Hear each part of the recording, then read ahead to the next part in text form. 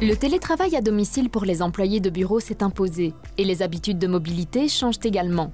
Proximus avait déjà une politique de mobilité bien développée et l'a récemment complétée par un budget de mobilité personnelle permettant aux employés de choisir eux-mêmes comment organiser leurs déplacements.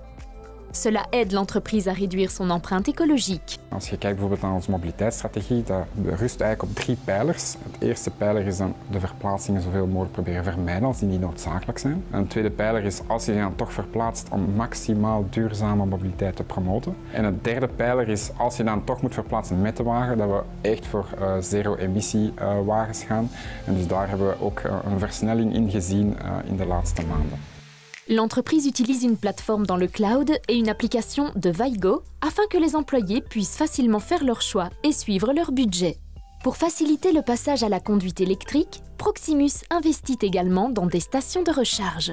We zullen uiteraard het thuisladen moeten promoten via de mobiliteitsbudgetten, maar ook de infrastructuur binnen Proximus zal onder handen worden genomen. We zijn alvast gestart in onze gebouwen in Brussel met het plaatsen van 42 laadpunten waarvan onze medewerkers gebruik kunnen maken. We hebben daar heel veel uit geleerd en we hebben technische en operationele standaarden vastgelegd die we ook zullen toepassen in onze regionale gebouwen.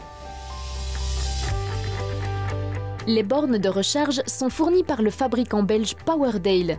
Il fournit également un système intelligent pour que le réseau électrique ne soit pas surchargé si de nombreuses voitures se rechargent en même temps. Nous avons décidé dans un premier temps d'allouer une puissance maximum à l'ensemble du parking et de répartir cette puissance à travers les différentes voitures qui sont là. Peu de voitures, on charge vite, beaucoup de voitures, on charge plus lentement. À l'avenir, on va aussi pouvoir tenir compte via l'application sur le smartphone des besoins de l'utilisateur. Et on va demander à l'utilisateur combien de temps il compte rester stationné et de quelle autonomie il souhaite disposer quand il récupère son véhicule. Proximus. Think possible.